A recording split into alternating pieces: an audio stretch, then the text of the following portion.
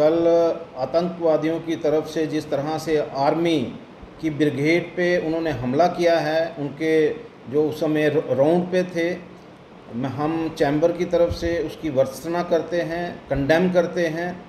इस तरह की वारदात जो है, पिछले काफ़ी समय से उग्रवादी जो हैं, वो अंजाम दे रहे हैं, क्योंकि उन लोगों को लगता है कि जिस तरह से जम्मू और कश्मीर जो है पीसफुल हो चुका है। आज की डेट में जिस तरह से देखें कि पहले भी कठुआ में दो वारदातें हुई और एक वारदात में मिलिटेंट्स जो हैं, दो मिलिटेंट्स जो हैं वो मारे गए।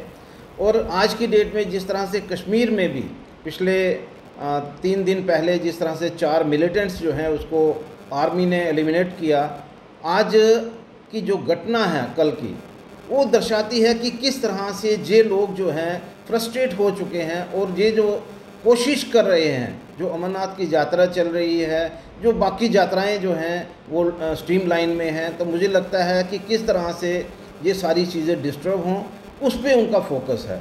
और हम लोग जो हैं, अपनी तरफ़ से, हम लोग गवर्नमेंट से भी डिमांड करते हैं कि इस तरह से जो भी मिलिटेंट सामने आए, उसको एलिमिनेट किया जाए।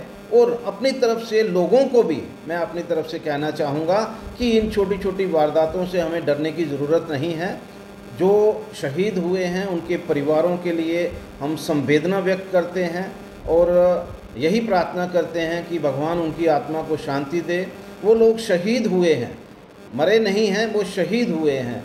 और मैं समझता हूँ कि भाई, इन घटनाओं को रोकने के लिए आर्मी और पुलिस की बहुत बड़ी, बड़ा बड़ा रोल रहता है और आने वाले समय में किस तरह से वो सारे इन चीज़ों के ऊपर फोकस करेंगे। और हम लोग अपनी तरफ़ से यही चाहते हैं कि ये जो चीज़ें हैं, ये रुकनी चाहिए। आर्मी जो है, बिल्कुल ऐसे लोगों को जो भी मिलिटेंट्स हैं और जो उनके ग्राउंड वर्कर्स हैं, उनको एलिमिनेट करे और किसी तरह की भी जो मैं समझता हूँ, इनके ऊपर इनको एलिमिनेट करने के लिए जिस भी हद तक जाना चाहे पड़े, वो जाना चाहिए। धन्यवाद।